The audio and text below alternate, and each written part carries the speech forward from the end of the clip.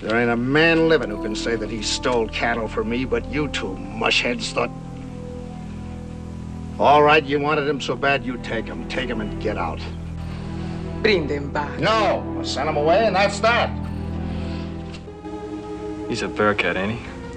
He's an old tyrant. But you're crazy about him, aren't you?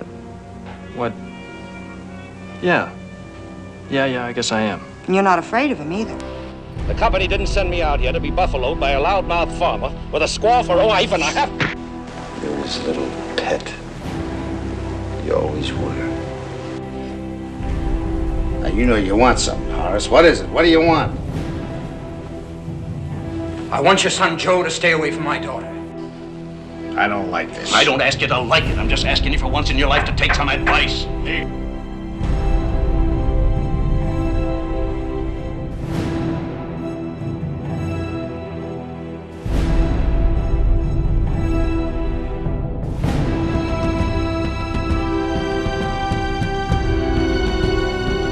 been enough violence connected with Devereaux Ranch, Joe. I don't want any more.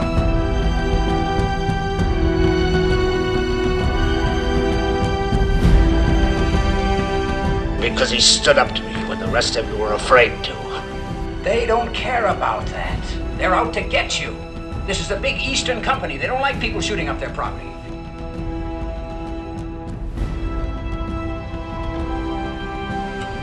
You didn't get a very good bargain, did you, my little princess?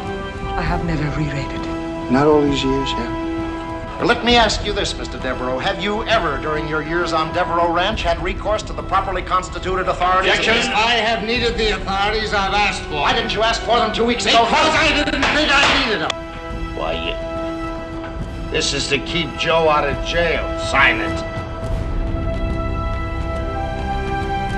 I know all about it. Two Moons has been here. I, I know what they're doing to the old man. They're killing him. What did you do with my mother?